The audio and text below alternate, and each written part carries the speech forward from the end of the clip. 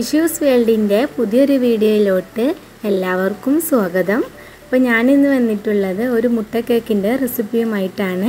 നമുക്ക് കുക്കറിൽ സിമ്പിളായിട്ട് നല്ല പെർഫെക്റ്റ് ആയിട്ട് തന്നെ മുട്ട കേക്ക് ഉണ്ടാക്കിയെടുക്കാൻ പറ്റും. അപ്പോൾ ഇതെങ്ങനെ ഉണ്ടാക്കാൻ നോക്കാം.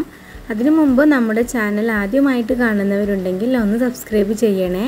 അതുപോലെ തന്നെ വീഡിയോ കാണുന്ന എല്ലാവരും വീഡിയോ സ്കിപ്പ് ചെയ്യാതെ കാണണേ. അപ്പോൾ നമുക്ക് വീഡിയോയിലോട്ട് പോവാം.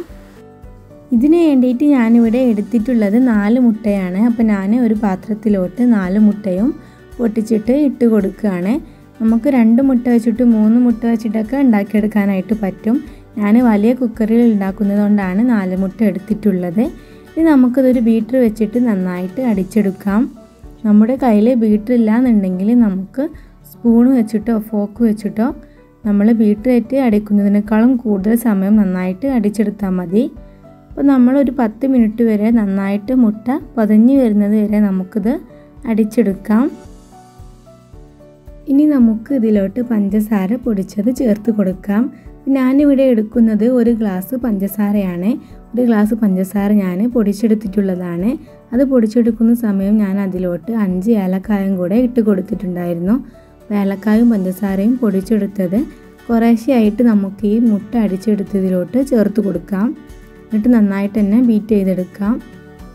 കുറേശ്ശെയായിട്ട് പഞ്ചസാര പൊടിച്ചത് നമ്മൾ മുഴുവനായിട്ടും ഇതിലോട്ട് ചേർത്ത് കൊടുത്തിട്ട് വീണ്ടും നമുക്കൊരു അഞ്ച് മിനിറ്റ് നന്നായിട്ടൊന്ന് ബീറ്റ് ചെയ്തെടുക്കാം.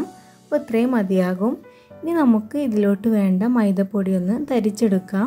അപ്പോൾ ഞാൻ പഞ്ചസാര എടുത്ത അതേ ക്ലാസ്സിൽ തന്നെയാണ് മൈദപ്പൊടിയും എടുത്തിട്ടുള്ളത്. രണ്ട് ഒരേ അളവിൽ തന്നെ എടുക്കണം. നമ്മളൊരു അരിപ്പയിലോട്ട് ഇട്ട് കൊടുത്തിട്ട് രണ്ട് പ്രാവശ്യമായിട്ട് നമുക്കത് അരിച്ചെടുക്കാം. മൈദപ്പൊടി തരിച്ച് കൊടുത്തിട്ട് ചേർത്ത് കൊടുക്കുകയാണെങ്കിൽ നമ്മുടെ കേക്ക് നല്ല സോഫ്റ്റ് ആയിട്ട് തന്നെ നമുക്ക് കിട്ടും. അതുകൊണ്ടിട്ടാണ് നമ്മളിവിടെ ധരിച്ചിട്ട് ചേർത്ത് കൊടുക്കുന്നത്. അപ്പോൾ നമ്മൾ രണ്ട് പ്രാവശ്യമായിട്ട് ഇത് ധരിച്ചിട്ട് ചേർത്ത് കൊടുക്കുകയാണ്. പഞ്ചസാരയും മൈദപ്പൊടിയും നമ്മൾ ഒരേ അളവിൽ തന്നെ എടുക്കാനായിട്ട് നോക്കുക. അപ്പോൾ നമ്മൾ മൈദപ്പൊടി മുഴുവനായിട്ടും തരിച്ച് കഴിഞ്ഞിട്ടുണ്ട്. ഇനി നമുക്കിത് മുട്ടയുടെ മിക്സിലോട്ട് ചേർത്ത് കൊടുക്കാം. അപ്പോൾ നമ്മൾ ഈ മിക്സിലോട്ട് കുറേശ്ശെയായിട്ട് മൈദപ്പൊടി തരിച്ചിട്ടുള്ളത് ചേർത്ത് കൊടുക്കുകയാണ്.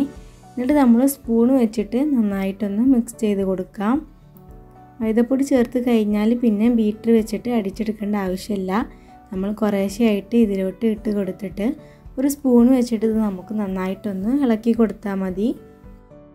ബാക്കിയുള്ള മൈദപ്പൊടിയും നമ്മൾ ഇതിലോട്ട് ഇട്ട് കൊടുത്തിട്ടുണ്ട്. ഇനി നമുക്കിത് കട്ട കൂടാതെ തന്നെ നന്നായിട്ട് സ്പൂൺ വെച്ചിട്ട് തന്നെ മിക്സ് ചെയ്ത് കൊടുക്കാം. അപ്പോൾ നമ്മളിവിടെ നന്നായിട്ട് മിക്സ് ചെയ്ത് കൊടുത്തിട്ടുണ്ട്. ബാറ്റർ ഇവിടെ റെഡി ആയിട്ടുണ്ട്. അപ്പോൾ ഇത്രയും മതിയാകും. നമുക്ക് ഈ കേക്കിന്റെ ബാറ്റർ വെച്ചിട്ട് തന്നെ നമുക്ക് വൈറ്റ് ഫോറസ്റ്റ് കേക്കും ബ്ലാക്ക് ഫോറസ്റ്റ് ഒക്കെ ഉണ്ടാക്കിയെടുക്കാനായിട്ട് പറ്റും. അപ്പോൾ നമ്മൾ വൈറ്റ് ഫോറസ്റ്റ് ഉണ്ടാക്കുകയാണെങ്കിലൊക്കെ അതിന്റെ എസൻസും കാര്യങ്ങളൊക്കെ ഇതിലോട്ട് ഇട്ട് കൊടുത്താൽ മതി. ബ്ലാക്ക് ഫോറസ്റ്റ് ആണെങ്കിൽ നമ്മൾ മൈദപ്പൊടി എടുക്കുന്ന അതിൽ കുറച്ച് കുറച്ചിട്ട് അതിന് പകരം നമുക്ക് അതിലോട്ട് കൊക്കോ പൗഡറൊക്കെ ഇട്ട് കൊടുത്താൽ മതി. അപ്പോൾ അതാ അവിടെ നമ്മുടെ ബാറ്ററി റെഡി ആയിട്ടുണ്ട്. ഇനി നമുക്ക് കേക്ക് റെഡിയാക്കി എടുക്കാം അപ്പോൾ ഞാനിവിടെ എടുത്തിട്ടുള്ളത് അഞ്ച് ലിറ്ററിന്റെ കുക്കറാണ് കുറച്ചുകൂടെ വലിയ കേക്ക് ഉണ്ടാക്കിയെടുക്കാനായിട്ടാണ് ഞാൻ ഈ കുക്കർ എടുത്തിട്ടുള്ളത്. നമ്മൾ മൂന്ന് ലിറ്ററിന്റെ കുക്കറിലാണ് കേക്ക് ഉണ്ടാക്കുന്നത് എങ്കിൽ നമുക്ക് മൂന്ന് മുട്ട വെച്ചിട്ട് രണ്ട് മുട്ട വെച്ചിട്ടൊക്കെ ഉണ്ടാക്കിയെടുക്കാനായിട്ട് പറ്റും. ഇനി നമുക്ക് ഇതിലോട്ട് രണ്ട് ടീസ്പൂൺ വരെ ഓയിൽ ചേർത്ത് കൊടുക്കാം. ഓയിലിന് പകരം നമുക്ക് നെയ്യ് ചേർത്ത് കൊടുത്താലും മതിയാകും. ഇനി നമുക്ക് ഇതിന്റെ സൈഡിലോട്ടൊക്കെ ഈ ഓയിൽ ഇങ്ങനെ ആക്കി കൊടുക്കാം. നമ്മൾ കേക്കിന്റെ സൈഡിലോട്ടൊക്കെ ഓയിൽ ഇങ്ങനെ ആക്കി കൊടുക്കുകയാണ്. ഇനി നമുക്ക് ഇതിലോട്ട് അടുത്തതായിട്ട് കേക്കിന്റെ ബാറ്റർ ഒഴിച്ചു കൊടുക്കാം.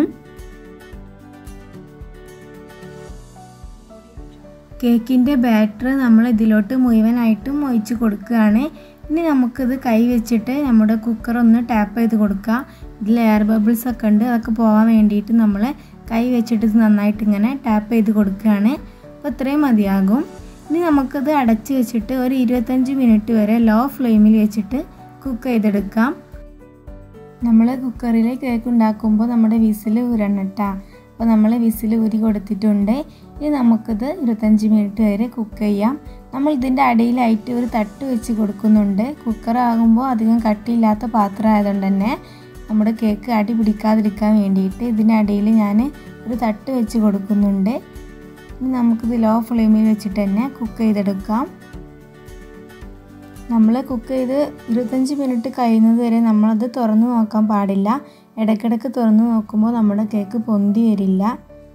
അപ്പോൾ നമ്മൾ ഇരുപത്തഞ്ച് മിനിറ്റ് വരെ ലോ ഫ്ലെയിമിൽ വെച്ചിട്ട് തന്നെ വേവിച്ചെടുക്കാം. ഇരുപത്തഞ്ച് മിനിറ്റ് കഴിഞ്ഞ ശേഷം ഇനി നമുക്കത് തുറന്ന് നോക്കാം. അപ്പോൾ നമ്മൾ ഇരുപത്തഞ്ച് മിനിറ്റ് വരെ ലോ ഫ്ലെയിമിൽ വെച്ചിട്ട് തന്നെ കുക്ക് ചെയ്തെടുക്കണം. അപ്പോൾ നമ്മളത് തുറന്ന് നോക്കുകയാണ്. കേക്ക് ഇതാ നന്നായിട്ട് വെന്ത് വന്നിക്കണം ഇതിന്റെ സൈഡൊക്കെ ഇങ്ങനെ വിട്ട് വന്നിട്ടുണ്ട്. അപ്പോൾ ഇത്രയും മതിയാകും. ഇനി നമുക്ക് ഫ്ലെയിം ഓഫ് ചെയ്യാം. ഇനി നമ്മൾ കേക്ക് ഒന്ന് ചൂടാറിയതിന് ശേഷം നമുക്ക് കുക്കറിൽ നിന്നും ഒരു പ്ലേറ്റിലോട്ട് മാറ്റി കൊടുക്കാം. കുക്കറിന്റെ അടിയിൽ നമ്മളൊരു തട്ട് വെച്ച് കൊടുത്തുകൊണ്ട് തന്നെ അതിന്റെ അടിയൊന്നും പിടിച്ചിട്ടില്ല. അടി ഇതാ നല്ല സോഫ്റ്റ് ആയിട്ട് നല്ല പെർഫെക്റ്റ് ആയിട്ട് തന്നെ വന്നിക്കണേ. വീഡിയോ കാണുന്ന എല്ലാ കൂട്ടുകാരും ഇതൊന്ന് ട്രൈ ചെയ്ത് നോക്കണം.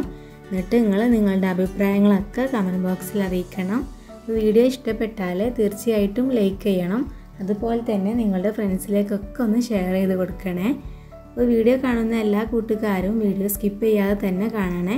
സബ്സ്ക്രൈബ് ചെയ്യാതെ കാണുന്നവരുണ്ടെങ്കിൽ ഒന്ന് സബ്സ്ക്രൈബ് ചെയ്ത് ഞങ്ങളെ സപ്പോർട്ട് ചെയ്യണേ. ഇൻഷാ അല്ല അടുത്ത പുതിയൊരു വീഡിയോയുമായി കാണുന്നത് വരേക്കും. അസ്സാം വലൈക്കും